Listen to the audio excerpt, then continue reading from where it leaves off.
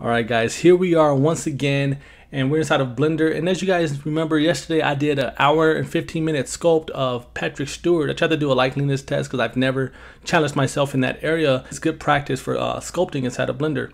Now once I completed that yesterday I didn't know what I wanted to do next. If I wanted to scrap this project in general and just move forward to doing a different likeliness just to further progress or if I wanted to just push this forward to the pipeline. So what I ended up doing was uh, pushing this forward. So I added more details to the surface inside of Blender using uh, alphas and uh, basically adding like wrinkles, um, skin, pores, you know, um, yeah, all those kind of cool things.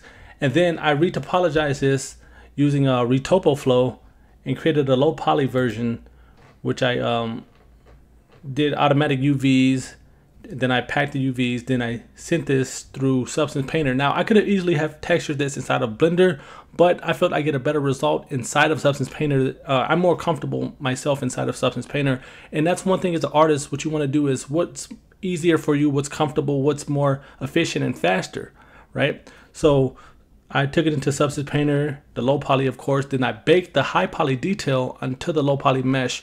So this low poly you know, now has that detail from the high poly. And as well, in Substance Painter, I can go further in depth with some of the microscopic details, which you see here.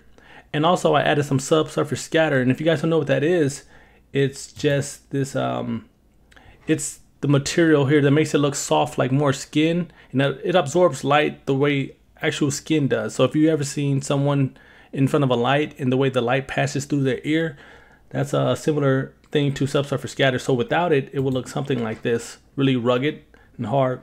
So I added some um, subsurface scatter and I changed the mid-tone to a pink color, as well as I added some breakup and variation throughout the skin, some lights, some darks, you know, and I paid attention to areas that fold because that's where it tends to be a bit darker because of overlapping of uh, skin, right? So uh, with this being done, I um, textured to here. And if I say I'm done now, the next step in the process would be to take it back to Blender so I can add some, you know, some really microscopic detail, add some peach fuzz, add some fur, you know, um, mustache, eyebrows, things like that, add some hair around the side. And also one thing I do want to do is he looks kind of scary without a shirt. I don't know about you guys, but he looks definitely a little bit um, scary to me. So I want to add a shirt to him. So I might give him the same like uh, shirt that he wore inside of Star Trek, make him look more like that because to me, he looks a bit too young to be Professor X. You know, because I wanted to dial back the age and I might have dialed it back too much. So uh, I'll just have him as his character that he played on Star Trek.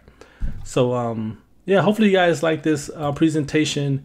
And if you did, give it a thumbs up. Comment what you liked about it, what you didn't like about it. And I'll catch you guys tomorrow. Have a good one.